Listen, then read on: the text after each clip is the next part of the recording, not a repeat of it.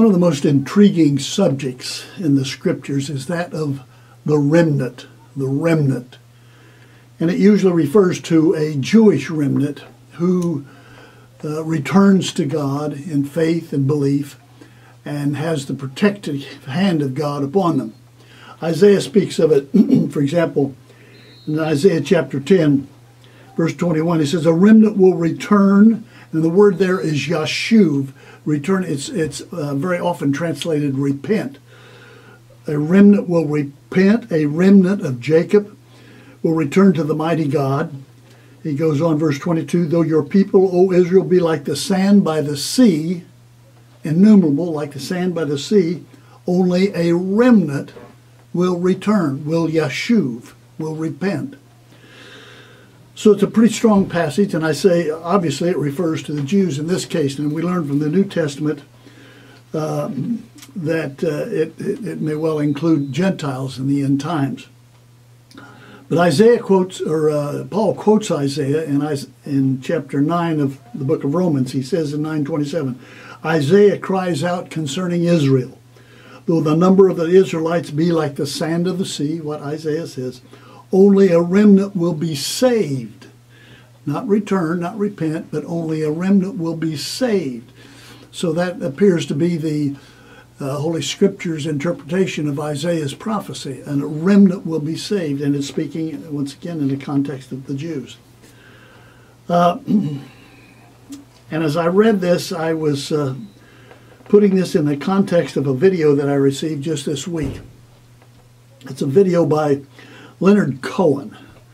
And Leonard Cohen is the iconic poet, singer, songwriter uh, among the Jews. Uh, he's written a very popular one entitled Hallelujah.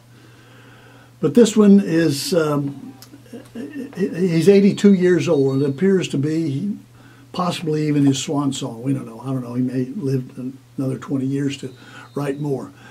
But it's entitled uh, You Want It Darker you, referring to God, want it darker. And he's addressing God. He's speaking to God concerning what God has done in the past and what he's evidently going to do in the future. And he's stating his response to what God has done. He's not looking at from God's viewpoint as to why he's done what he's done in the past and not explaining that, but he's looking at what God has done. And he says, it's been darker. Here's what he says. Here's the first couple of stanzas. He says of God, if you're the healer, if you're the dealer, I'm sorry, if you're the dealer, I'm out of the game. If you're the healer, it means I'm broken and lame. If thine is the glory, then mine must be the shame. You want it darker. We kill the flame, the flame of light, evidently.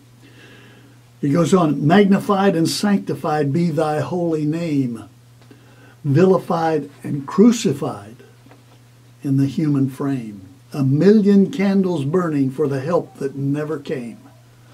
You want it darker.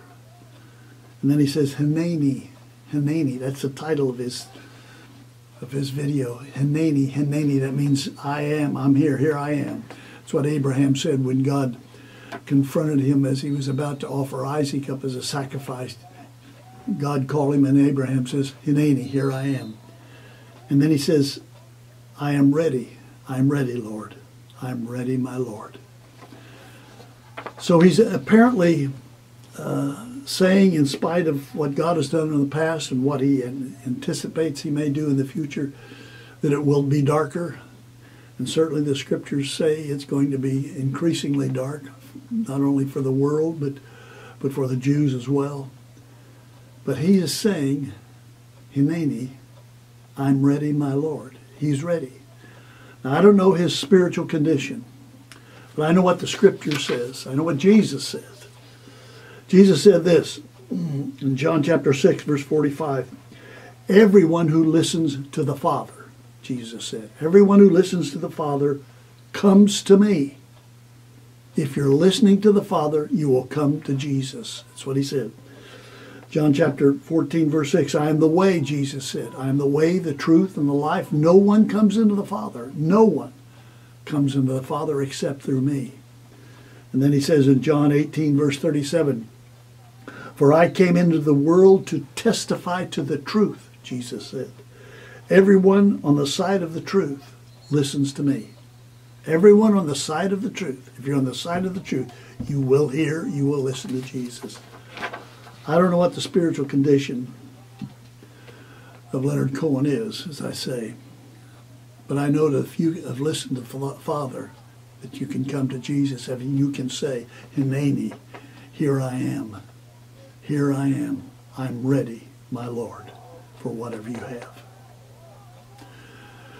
Till next week, Od Kiev Shiloh, or until Messiah comes, Yivaraka Yahweh, Yahweh bless you, bless those you love, bless those who love you.